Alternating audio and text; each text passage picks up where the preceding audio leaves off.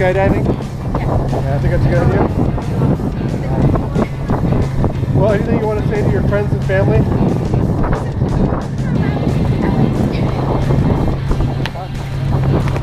Oh,